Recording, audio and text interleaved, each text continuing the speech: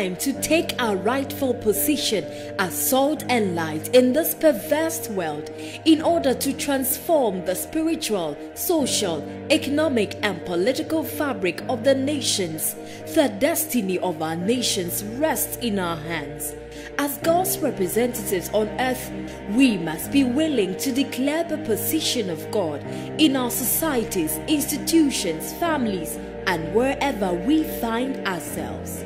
Welcome to Weekly Inspiration with Apostle Eric Nyamekye, Chairman of the Church of Pentecost. This broadcast is powered by the Church of Pentecost headquarters. Weekly Inspiration Be inspired to transform. In last week's message, we learned that God has an appointed time for everyone, so we should not rely on human beings for our deliverance in times of challenges. God will never disappoint us, and in His appointed time, He would show up mightily on our behalf as He did for Joseph. In this week's message, Apostle Eric Nyamekye takes us through another perspective of the life of Joseph, the young man who was brought out from the dungeon into prominence after interpreting the dream of Pharaoh. Praise the Lord, everyone. I'm happy to come your way once again. We have been looking at the great man Joseph, the one who has taught us a lot about bitterness and continue to teach us. He's the one who has been able to overcome bitterness, and we have a lot to learn from him. Last week, we saw how God caused Pharaoh to dream, and that made the cupbearer to now remember Joseph because the Bible said he had forgotten about him for two solid years. Now, Joseph is called from prison to come and interpret the dream that Pharaoh had. Let's read Genesis 41 from verse 14 through 16. So Pharaoh sent for Joseph and was quickly brought from the dungeon. When he had shaved and changed his clothes, he came before Pharaoh. Pharaoh said to Joseph, I had a dream, and no one can interpret it. But I have heard it said of you that when you hear a dream, you can interpret it.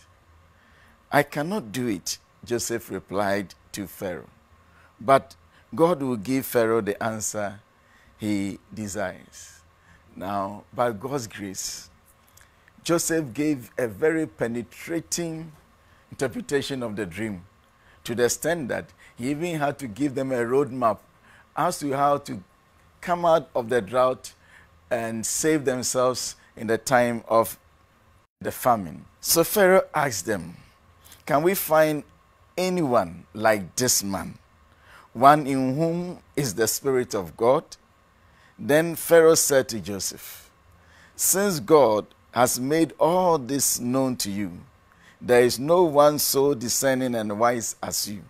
You shall be in charge of my palace, and all my people are to submit to your orders. Only with respect to the throne will I be greater than you. Now, this statement of Pharaoh has come about because Joseph prescribed that they should find a wise person who will be able to manage uh, the time of plenty for, and then save some against the famine. And then here Pharaoh is saying that there is no man that we can find. You are, you are the best man who can do this job. And he is saying that you shall be in charge of my palace, and all my people are to be subject to your orders. I was wondering whether Potiphar and the wife are part of, and all my people. I don't know what will go into the minds of Potiphar and the wife when this statement is made. And he didn't make it in the secret. He said, he said to his officials. So I'm sure Potiphar will be looking at this young man he put in the dungeon, and the wife will hear it, and they'll, they'll be wondering uh, what will come out uh, of this, or how whether Joseph is going to retaliate or revenge. Maybe you can be uh, also be considering whether Potiphar's wife had this decree. Now, let me say this to all of us. Anytime that I read about this, I remember the scripture that uh, Peter quoted in us that the Lord said to my Lord, Sit at my right hand until I make all your enemies your footstool. But you see, the sitting by God is always a problem for many of us. We don't have the patience to sit. We flirt, and sometimes we want to pay back our enemies. But I want you to know that relax and sit by God. One day He's going to make your enemies, like Potiphar and their wife, your footstool. I'm not sure Joseph ever thought that he would be brought from this prison to a place of prominence like this. I'm not sure. But God has caused it to happen. The Bible says that you need patience. After you have done the will of God, then you will have the promise. Whatever God has said about you will definitely come to pass. But you need some patience. You need staying power, the ability to stay in times of trials and temptation. People can cause you to be bitter, but remember, sit at the right hand of God. You make all your enemies your footstool. Don't go chasing after them. No, God can do that better. You bring all of them under your feet, and they will become your footstool, just as He has done for Joseph. May I ask you that you come, sit close by the throne of God. Sit, relax. Sit means just relax. And God, He knows how to make your enemies your footstool. God be with you. We want you to give your life to Jesus, just as I've been calling for. If you don't know Him, you will. You, you, you will not be able to control your spirit.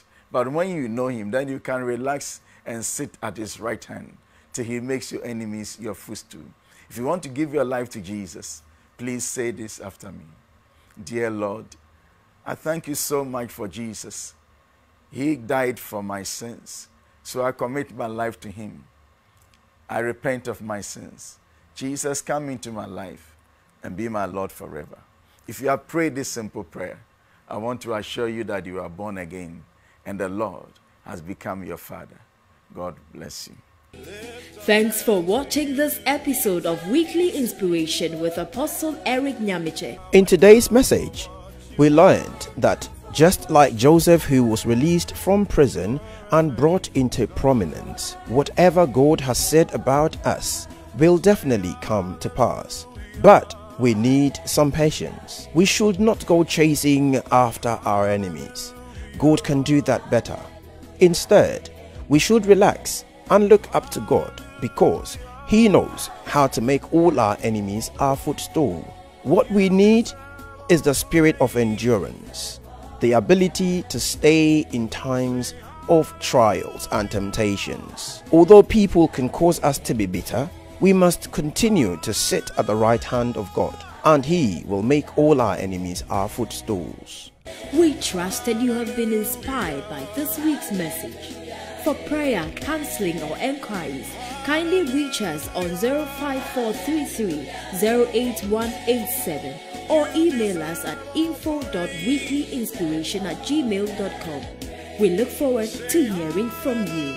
Till we come your way again, have a blessed week.